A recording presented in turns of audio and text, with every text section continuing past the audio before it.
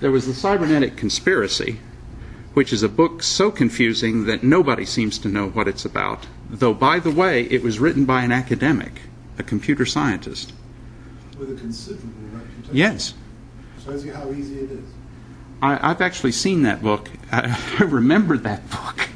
And I remember, just like this Amazon reviewer, which was not me, I'm just saying I was parallel to this, I couldn't figure out what the hell he was talking about.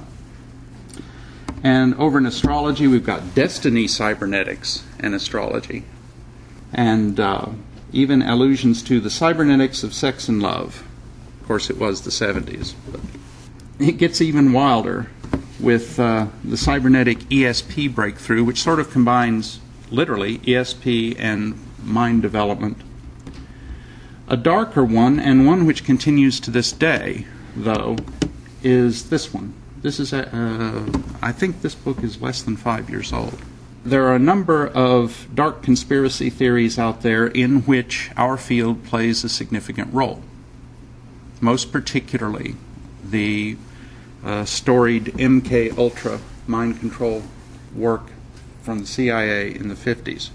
So there are a number of alternative histories of cybernetics to be found out there in these dark books claiming that cybernetics is in fact the cobble that set up everything that's wrong with the world. Never could find images to prove those. I'm particularly fond of diet cybernetics for lean lines and uh, applied cybernetics atomic energies of the mind. By the time this had run its course, Norbert Wiener was already dead. Had he not been dead, he would have wanted his freaking word back. So, what happened after that? Taking yet another abrupt turn, I wanted to move on from the idea that cybernetics somehow became tainted, watered down, somehow lost its focus, at least in terms of popular recognition and so forth, and try to steer back more toward what happened after that and how does this have to do with interpersonal communication or listening and so forth. Heinz made up for the cybernetics title by establishing the BCL, as far as I'm concerned. And that's really what happened.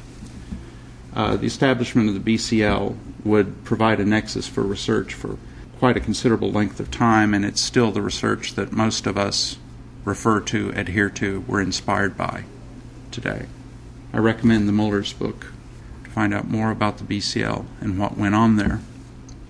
One particular theme that came up, and one of the earliest things they did was yet another conference, the Symposium on Self Organization, 1961, which was a uh, uh, study of self organization and self organizing systems.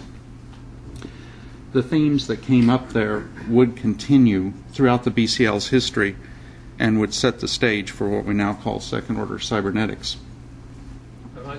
There were two Nobel Prize winners at that conference. Yep. Roger Sperry and um, Friedrich Hayek. Biology and economics. Uh, yeah, I'm not sure which is which. Uh, Hayek has the glasses There with is the bow tie, and Sperry is somewhere over here. I'm not sure which one. Might be that one back there. In the meantime, there were people doing work. There were people going back, you might say, to the roots of the coalescence of cybernetics. You know, systems, particularly mechanical systems, particular, uh, not so much mechanical by now, but electronic and so forth, that were hacking with ideas, and in turn were generating ideas based on results, which had to do with circularity and the themes of uh, cybernetics, most particularly with regard to communication. On those rare occasions, such as February 1960, when the press paid attention to them, they would also occasionally mug for the camera. for some reason, it seemed to be of significance to the reporter. By the way, the, this, the article from which this is extracted is available online in, in its entirety as images if you want to go find it. For some reason, the reporter seemed particularly interested in the fact that Gordon at that time was smoking three packs of cigarettes a day. In fact, there's another image of him sitting there staring off as if engrossed in thought and puffing away. That's all they wanted to talk about. First, there was Musicolour, which was an adaptive light controlling device for entertainment purposes, really, but which could essentially learn and adapt and even get bored with the operator. This led to a more general interest in the idea that these tactics of adaptation, of learning, and so forth might be used in training systems. The early training systems led to theorization as to what had been learned from their invention, deployment, and use. And that led to a general conversation theory uh, in the 70s, and toward the end, sort of another level of abstraction moving on to the so called interaction of actors theory. This is basically, I ripped off Paul, so I ripped off some of his illustrations. The main point here is that, at least as of the time of the general conversation theory, Pask was uh, recharacterizing interaction in terms of behaviors, interactions themselves, what was going on. Not in terms of symbols or semantics somehow being conveyed or passed between the conversants, but how they were behaving, what they were doing, and that the object or measure of merit of the interaction could be uh, assessed in terms of apparent agreement or correspondence. In the training context, these themes had to do with the notion of a con- concept, which might be a particular behavior or loop or, or something in and of itself. That in the training context, the idea of conversation was not conveying something meaningful from teacher to student, but rather sort of a resonance or correlation correspondence between behaviors to a point that the student seemed to have it. The point was the student seems to have something, not it. It was not the issue. Then we get to Maturana. I'm going to make this fairly quick, which is unusual for me. One aspect of Maturana's theory of the living organization, relevant here with regard to communication and so forth, is that the nervous system is operationally closed and has what I call the Las Vegas effect. What happens in the nervous system stays in the nervous system. There is no ephemeral information or meaning or stuff moving in or out. More to the point, the notion of conversation or interaction, linguistic interactions, proceeds from the biology that reciprocal structural coupling between the conversants who have operationally closed nervous systems can result in perturbations.